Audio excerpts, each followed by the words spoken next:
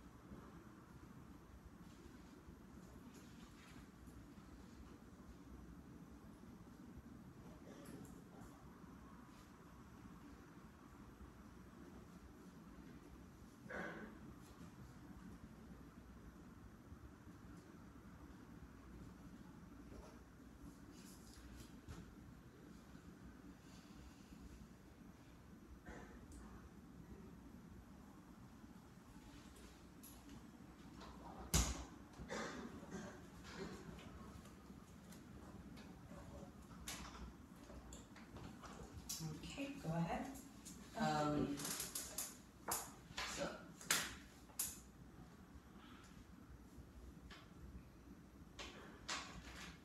so recently, I have read a book uh, about um, adventuring and mystery, and his name is Sherlock Holmes.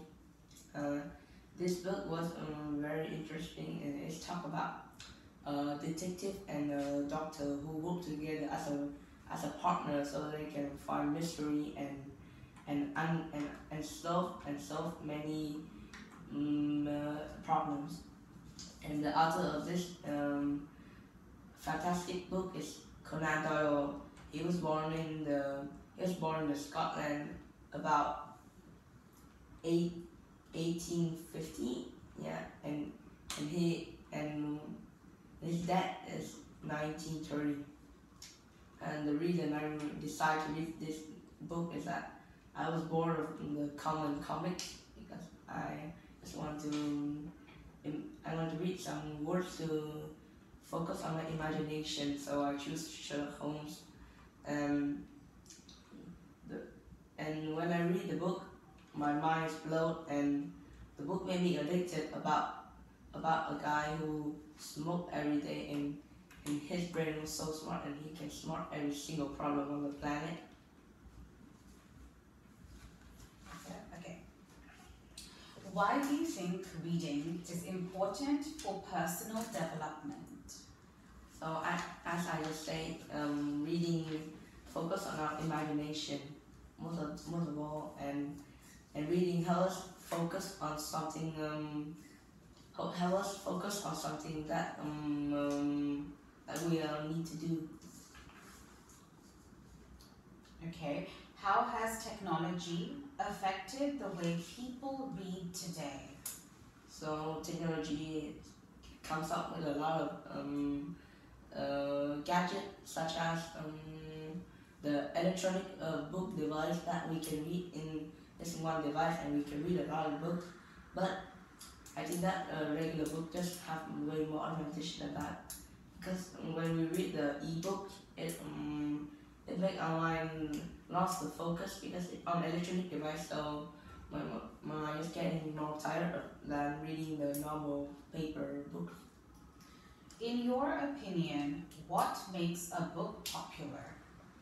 Um, the way the way that they can make a book popular is that is in in the topic of the book is interesting or not or or who write it such as like a famous footballer who write it it would make the book more famous Mm-hmm. uh, do you believe that children should be encouraged to read from a young age? Why or why not? um, for me I I was very until I was um first grade so I think that when you was a kid uh, just let them play free and do whatever they want because their mind are not complete yet so when they read book they just get bored and they will not consume any any information that the book gave Okay, all done. Thank you very oh, much. okay